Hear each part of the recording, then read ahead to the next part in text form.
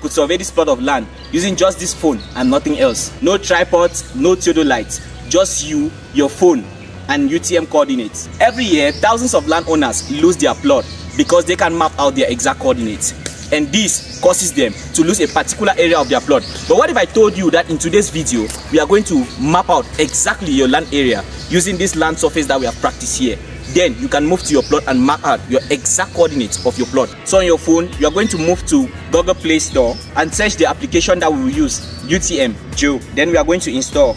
Move to your screen and you're going to open the UTM Geo app. Click on map coordinates. When it opens, the navigate to the three dots on your. Now you're going to write the name of the project. Let's say for this project is surveyors data. Then on the project description, you are going to write my plot. To save the project, so click on OK. So navigate to your first point, which for us is this and make sure the location of your phone is on. Here we are standing on point A of our plot. You are going to click on the compass icon which is at the top right hand corner of your screen. Then you are going to click on mark to mark the first point. Then you save the point A you are then going to navigate to your second point and you save it B. Then on the fourth point, you are going to click on the compass tool and mark. You record the point as C. Finally, we are going to move to the last point.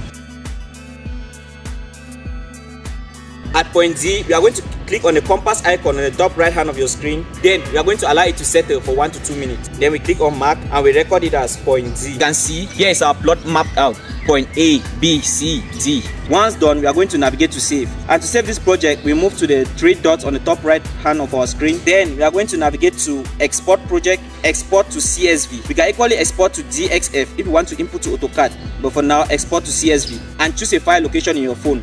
For example, uh, as we save it in downloads. So we just click on save. Now we can navigate to our phone under where we save the file. For us, I have plot A CSV. So as you can see on your phone, we have the the points A, B, C, D. We have the longitudes, the latitudes. We equally have the UTM coordinates, the MGRS coordinates, and we have the address. You can input these points into Google Earth and see your land in 3D. Or you can input these points into AutoCAD and sketch out your plot dimensions. Let me tell you a true story. A few months ago, I taught this method to a student and now he's making pretty good amount of money by measuring people's plots directly using his cell phone. And he just has to verify again using a method to make sure that the distance actually matches. So key things to take note. Make sure you don't take these coordinates under a tree. It might affect your accuracy. This trick could save you hours and money that you could pay to a surveyor to be able to get your plot and start doing your conception on it. Don't let your plot disappear use your cell phone to your advantage to be able to pick out your coordinates. If you did find this video helpful, please make sure you keep a like. And if you face any difficulties, I would like to hear them down in the comment section.